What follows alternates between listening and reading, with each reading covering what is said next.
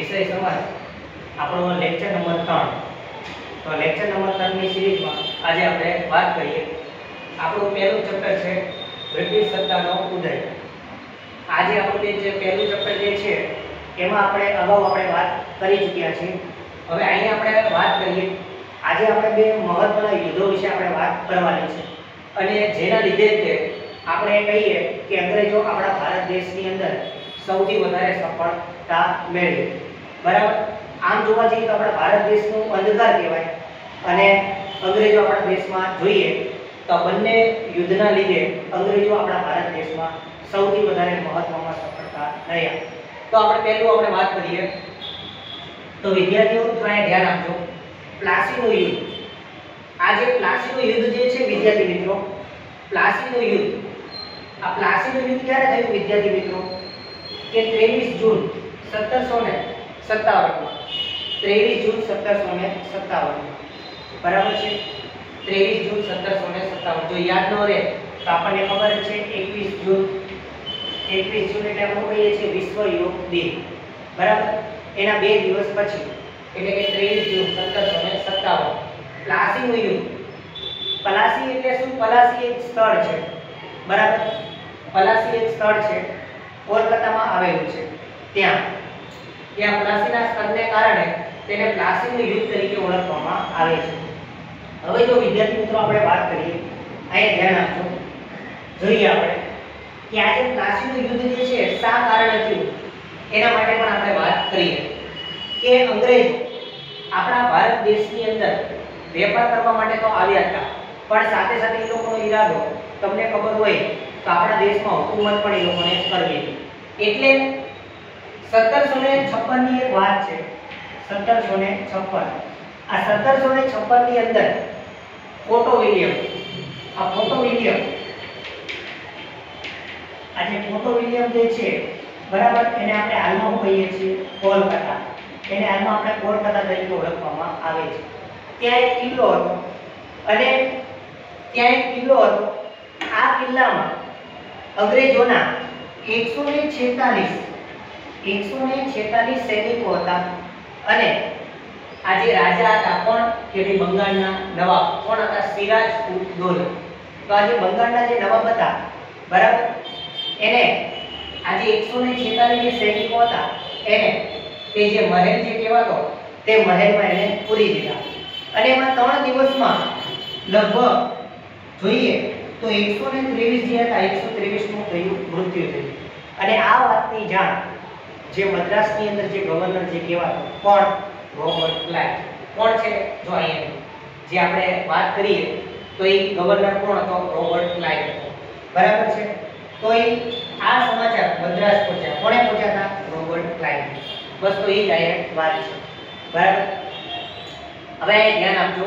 હવે આપણે વાત કરીએ કે આમાં ચોપડીવાળા આપણને શું કહે છે? જોવાય કે બંગાળમાં કોનું કોનું શાસન ચાલતું હતું? સિરાજ ઉદ્દોલા દૌલાનું સિરાજ ઉદ્દોલા. બરાબર છે? કે ભાઈ બંગાળમાં સિરાજ ઉદ્દોલાનું શાસન ચાલતું હતું. બરાબર? અહીંયા જો આ લોકો શું કીધું છે કે ભાઈ એનો ઉતાવળીનો સ્વભાવ છે. કે ભાઈ ઉતાવળીનો સ્વભાવ એટલે શું? હવે દાખલા તરીકે કોઈ કોઈ વ્યક્તિની માલિકી હોય અને તમે એને પૂછ્યા વગર કાંઈ પણ વસ્તુ તમે કરો, તો પણ તમારે પૂછવું પડે પૂછવું. પૂછવું જ પડે. હવે આ તો રાજા હતો બંગાળ અને એને પૂછ્યા વગર તે કિલ્લેબંધી કરી નાખી એટલે કઈ રીતે પોહાય? એટલે જુઓ, આમ ઉતાવળીઓ સ્વભાવને કારણે રાજ્યમાં કેટલાક એના પણ એના શું હતા વિરોધી હતા. બરાબર? હવે સારો માણસ હોય, એના તમારે જોવાનું કેટલા એના વિરોધી હોય બરાબર? આમ, આ સમયમાં બ્રિટિશ ઈસ્ટ ઇન્ડિયા કંપનીએ નવાબની પરવાનગી લીધા વિના, બરાબર? કોલકાતામાં રક્ષણના બહાને વેપારી કોઠી ફરતે કિલ્લેબંધી કરી. બરાબર? પૂછ્યા વગર કિલ્લેબંધી કરી નાખી. વિચાર કરો હવે પૂછ્યા વગર પૂરે કરે તો નવાબ કરશે? હવે નવાબ ગુસ્સે થશે. એટલે નવાબે તરત જ તે આ જે કિલ્લેબંધી હતી કિલ્લેબંધી હું કરાવી નાખી? તોડાઈ પડાવી બરાબર છે? આમ, હવે જો કિલ્લેબંધી તોડાવી નાખી, એટલે આ વાતની જાણ એ સમયે મદ્રાસની અંદર એક વ્યક્તિ હતો. બરાબર પણ એક ખુખાર વ્યક્તિ હતો. એનું નામ શું હતું? રોબર્ટ ક્લાઇવ આ રોબર્ટ ક્લાઇવ હતો. બરાબર? આ સમાચાર મદ્રાસ પહોંચ્યા. અને કોલકાતાની જે કોઠીની સહાય કરવા રોબર્ટ ક્લાઇવની આગેવાનીમાં નીચે એક નાનકડું સૈન્ય બંગાળ આવ્યું. બંગાળ એટલે કે આપણે કોલકાતામાં. જ્યાં રાજાજી હતો નવાબજી હતો, ત્યાં. બરાબર? સમાચાર મળ્યા રોબર્ટ ક્લાઇવને એટલે રોબર્ટ ક્લાઇવે બરાબર તરત જ એક સૈન્ય તૈયાર કર્યું.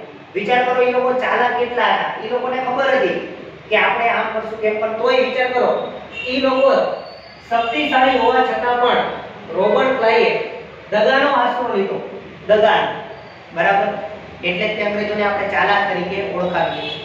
આમ રોબર્ટ ક્લાઈએ દગા કરીનો આશરો લીધો. અને વિચાર કરો, એનો તે માણસ. બરાબર? સિરાજ ઉદ દૌલા એનો સેનાપતિ. એનો સેનાપતિ કોણ હતો? મીર જાફર. તો મીર જાફર અને એના ત્યાં શેઠ અમીરચંદ. આ બંને લોકોને સામેલ કર્યા. બરાબર? મીર જાફરને લાલચ આપી. મીર જાફરને હું આપી? લાલચ. મીર જાફરને લાલચ આપી. બરાબર? અને અમીરચંદને પણ કાંઈ આપી દેશે એમને એમ કે બંને લોકો અંગ્રેજોના પક્ષમાં, કોના પક્ષમાં? અંગ્રેજોના પક્ષમાં. આમ કેવાય કેવાય કોના પક્ષમાં? સિરાજુદ્દૌલા પણ જ્યારે લડવા જાય, ત્યારે એ લોકોને કહી દીધું ભાઈ તમારે યોજનાપૂર્વક જ કાર્ય કરવાનું. જો આ તમને કહે છે કે આ યોજનામાં, આ યુદ્ધમાં મીર જાફર યુદ્ધમાં નિષ્ફળ રહ્યો. કેમ? કે ભાઈ પૂર્વ યોજના અનુસાર. ખબર જ છે કે ભાઈ તારે શું કરવાનું શું કરવાનું નહીં.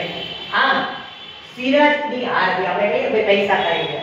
કે મેચમાં આપણે કહીએ, કોઈ વાર કોઈ ખેલાડી રમે શું કે? પૈસા ખાઈ ગયા, બસ આમ છે. અહીંયા જુઓ, આ મીર જાફર અને શેઠ અમીરચંદ શું ખાઈ ગયા યુદ્ધમાં? પૈસા ખાઈ ગયા. અને આમ, સિરાજની શું થઈ? હાર થઈ. અને પ્લાસીનું યુદ્ધ માત્ર અડધા દિવસમાં માટે પૂરું થયું અને આમ, અંગ્રેજો અહીંથી સૌથી સફળ થયા. એટલે વિદ્યાર્થી મિત્રો, બંગાળનો બંગાળનો ગવર્નર બંગાળનો ગવર્નર, આ યાદ રાખજો વિદ્યાર્થી મિત્રો. બંગાળનો જો કોઈ ગવર્નર હોય પહેલો, તો કોણ? Robert Clive. કારણ કે રોબર્ટ ક્લાઇવને ખરો સ્થાપક કહેવાય છે. કારણ કે યુદ્ધથી તે અંગ્રેજો કેવા બન્યા? શક્તિશાળી બન્યા. એટલે બંગાળનો ગવર્નર કોણ? Robert Clive. બરાબર છે? આમ 24 પરગણાની જાગીરી મળી. બરાબર? 24 પરગણા એટલે કે જમીનનો જે ટુકડો હોય, ગામનો જે નાનકડો જે વિસ્તાર હોય, આટલું એ લોકોને સફળતા પ્રાપ્ત થઈ. એટલે કહેવાય છે, અંધકારનો ઇતિહાસ. શું કહેવાય છે? અંધકારનો ઇતિહાસ. બરાબર? તો વિદ્યાર્થી મિત્રો, આ છે તમારું પ્લાસીનું યુદ્ધ. બરાબર? આ એનું પરિણામ કહેવાય. આ શું કહેવાય? પરિણામ. આ પરિણામ આવ્યું કહેવાય. તો પરીક્ષામાં સવાલ પૂછાય કે પ્લાસીનું યુદ્ધ કોની કોની વચ્ચે અને ક્યારે થયું? તો ક્યારે થયું 23 જૂન 1757 કોની કોની વચ્ચે? સિરાજુદ્દૌલા અને અંગ્રેજો વચ્ચે. અંગ્રેજોનો મેન માણસ કોણ હતો? રોબર્ટ ક્લાઇવ બરાબર? જેને ખરો સ્થાપક તરીકે ઓળખવામાં આવે છે. જેને બંગાળનો પ્રથમ ગવર્નર કહેવાય છે. આ યાદ રાખજો વિદ્યાર્થી મિત્રો. હવે આવે છે બક્સરનું યુદ્ધ. બરાબર? બક્સરનું યુદ્ધ. આ બક્સર પણ એક કિલ્લો છે. કિલ્લાની જગ્યા છે. બરાબર? જેને બક્સરનું યુદ્ધ કે બક્સરની લડાઈ તરીકે ઓળખવામાં આવે છે. તો પરીક્ષામાં જોઈએ તો બે મહત્વના યુદ્ધ છે. એમાં આપણે વાત કરીએ બક્સરનું યુદ્ધ. 22 ઓક્ટોબર 1764 વિદ્યાર્થી મિત્રો, આમ જોઈએ તો બંને યુદ્ધો, આપણે વાત કરીએ તો કઈ નદી કહેવાય? ગંગા નદી. આમ જોઈએ તો વિદ્યાર્થી મિત્રો, બંને યુદ્ધો ગંગા નદી કિનારે છે. ગંગા નદી તરીકે તે ઓળખવામાં આવે છે. બરાબર? હવે જો ધ્યાન આપજો. હવે અંગ્રેજો બરાબર પોતાની રીતે બધું કાર્ય કરતા હતા. એ લોકો ફૂલ પૈસા કમાતા બરાબર? અને રાજાઓ તમને ખબર જ હોય. રાજાઓનો બસ મહોત્સવ કરવાનો હોય એટલે એ લોકો એની રીતે રહ્યા કરતા. પણ અંગ્રેજોને હવે મીર જાફર જે છે, મીર જાફર હેરાન કરવા લાગ્યા. એટલે મીર જાફરને ખસેડી નાખ્યો. એના બદલે એનો કોઈ ભાઈ હતો, કોણ? મીર કાસિમ. એને કીધું, ભાઈ, આપણે મીર કાસિમને લાવી પણ મીર કાસિમને લાવ્યા આના કરતાં તો ઊંધું થઈ ગયું. કેમ? કારણ કે તે વધુ કેવો હતો? મહત્વાકાંક્ષી મહત્વાકાંક્ષી એટલે એના કરતાં ચડિયાતો મીર જાફર કરતા મીર કાસિમ કેવો હતો? ચડિયાતો પાછો યુવાની હતો એટલે અંગ્રેજોનું તે માનતો જ નતો રાજા બની ગયો પછી. એટલે અંગ્રેજોને કહ્યું કે જો ભાઈ, કે જો આપણે મીર કાસિમને જો આપણે રહેવા દઈશું તો આપણું કાંઈ આવશે નહીં. એના કરતાં ફરી પાછો કોને લાવો? મીર જાફરને લાવો. આમ, આ વાતની ખબર પડી. એટલે તરત મીર કાસિમને ખ્યાલ આવી ગયો કે ભાઈ, હવે અહીં આપણે રોકાવાનું છે. નહીં. એટલે ડર લાગ્યો એટલે સીધો ક્યાં ગયો? અવધના નવાબના શરણે. બરાબર? તો ધ્યાન આપજો. આમ સાબિત થયો. અને ફરી પાછો મીર જાફર આવ્યો. કોણ આવ્યો? મીર જાફર આવ્યો. કોના બદલે? મીર જાફરના બદલે પેલા કોણ આવ્યો? મીર કાસિમ. તો મીર કાસિમ પાછો કોણ આવ્યો? મીર જાફર. આ મીર કાસિમ ને ડર લાગ્યો એટલે તે અવધના નવાબના શરણે ગયો. અને અવધના નવાબ જે હતા, ત્યાંથી તે પાછો ક્યાં ગયો? દિલ્હી. દિલ્હીમાં કોણ હતા? મુગલ બાદશાહ. બરાબર? આમ, અવધના નવાબ, મુગલ બાદશાહ અને કોણ? વીર કાશી એટલે ટૂંકમાં કેવું હોય તો ત્રણેયની સંયુક્ત સેના. આમ ત્રણેયની સંયુક્ત સેનાથી, બરાબર? અંગ્રેજો સામે. જોઈએ, તો એ સમયે, આજે બક્સરનું યુદ્ધ હતું, ત્યારે એ સમયે અહીંયા કોણ હતો? રોબર્ટ ક્લાઇવ હતો. તેવી રીતે અહીંયા કોણ હતો? હેક્ટર મુન્ડ્રો હતો. કોણ? હેક્ટર મુન્ડ્રો તો હેક્ટર મુન્ડોના આગેવાનીમાં સૈન્ય તૈયાર થયું સંયુક્ત સેનાની સામે. અને આમ, આજે સંયુક્ત સેના છે એનું થઈ હાર થઈ અને અંગ્રેજોની જીત થઈ. આમ, અંગ્રેજોને બક્સરના યુદ્ધમાં દીવાની સત્તા મળી. શું મળી? દીવાની સત્તા. દીવાની સત્તા એટલે કે વિસ્તાર મળ્યો બરાબર? બંગાળ, ઓરિસ્સા અને બિહાર. બંગાળ, ઓરિસ્સા અને બિહાર. આમ આખો જે વિસ્તાર હતો, આખો વિસ્તાર પર કોનો કબજો આવી ગયો? હવે અંગ્રેજોનો કબજો આવી ગયો. અને આ અંગ્રેજો હવે શું બનશે શક્તિશાળી બનશે. બરાબર? તો બે યુદ્ધ છે તમારા માટે મહત્વના. એક પ્લાસીનું યુદ્ધ અને એક છે બક્સરનું યુદ્ધ બરાબર છે વિદ્યાર્થી મિત્રો? જય શ્રી કૃષ્ણ.